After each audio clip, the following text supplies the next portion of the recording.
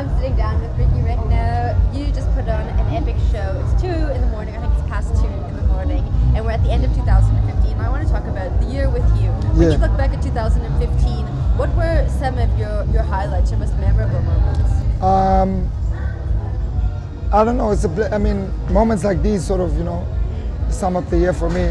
It's the first time performing at a, at, at, a type of event like this, Buyel'ekhaya. Never had hip hop artists perform before, and I think it's the first time me and Cassper came out, the first time ever. So moments like these, it's just like everything has just been brand new. Everything has just been a new experience. Just you know, checking new ground. So it's just been brilliant for me, man. Now, you talked about this event, and I honestly think the whole of East London is here tonight. And I saw you on stage asking everyone to, to turn to each other and, and shake the hands of the people standing next to them. Yeah. And that was such an incredible moment. Like, I Yeah. actually felt it. I thought, wow, this stadium full of people, they're actually speaking to each other and Yeah. connecting with each other. Yeah. What was that like for you as an artist to see, see this happen on a mass scale and know that you did that? Yeah, I mean, the, I, the whole point, like, I do what I do for people to just, you know, feel comfortable with other people and feel comfortable with themselves. Because I'm not, I was never comfortable with myself until music came into my life. So while we're gathering and dancing to music, let's make sure we're building and linking with other people. We never get the time to look over next door and just, you know, shake somebody's hand or just build somebody because, you know, we've got that little bit of fear. So, you know, for me, it's, it's just always a blessing to be around new people and speaking to new people and figure them out. That's the biggest blessing you could ever have. Now, you just said you were you were never comfortable with yourself until music came along. What do you Yeah. mean? What, what who were you before music came along? Well, some you know some people use music as maybe a way to make money. Some people use it as maybe a way to achieve some sort of status, and then uh, you get like the people who do music for um, just getting their feelings out or their emotions out.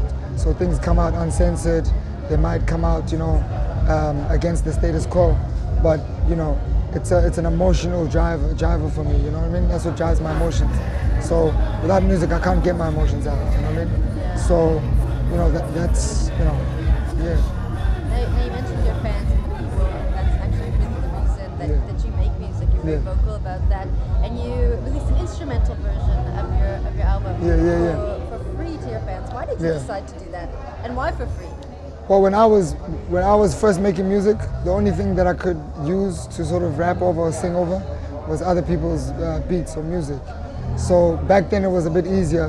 You know, the internet you could get more free stuff easily because the internet was wide open. Yeah. So I used to get instrumentals over, you know, my favorite artists and, and practice over that. And I realized in South Africa we we don't give away instrumentals. There's no we don't do instrumental releases. So a lot of kids can't just rap over your beats and start their careers off of your beats, you know. So I just wanted to really just inspire kids, uh, just to get you know beats that are known, and they can rap over and do whatever they want to do with the with the with the music, and it's just a gift for them, and hopefully a few people get inspired. Already people have sent me their versions of my songs, different versions of my That's songs. So it's really it's not for it's not for it's not something I can put on for sale and expect people to go out and buy. It's something to just inspire the kids just to start, you know, to start off their careers like I had. You know? Whose instrumentals did you rap to the most? I was stealing um, I was stealing a lot of Kanye West instrumentals, a lot of uh, Jay Dilla instrumentals, a lot of um, wow, who? I had a lot of a lot of different yeah. instrumentals, but I was yo I was stealing everything. I, I think I did about six mixtapes before I was able to do an album. I had about That's six mixtapes. I so- want to listen to one. No, don't, don't. Can I please? don't. Don't Those mixtapes are banned. Nobody, nobody should go back and listen to them. But, but to tell the truth, they were really dope. I mean, it was like my purest form of, of music. Um, now my music is more calculated, but that was my purest form of music. So they actually were pretty good, but that was my purest form. All right, so we're going down to, to the end of 2015. What can we expect from you next year? Well, it's just a beautiful thing. I just shot a movie. Um, my whole plan was always shoot a movie. I, I never wanted to release a lot of singles for my album because I wanted to. I wanted people to sit with it and have an experience with it and decide what they wanted to hear. So people sent through which songs they want to see, which music videos, and I basically shot a movie around all of those different songs. So the music is going to be like a score.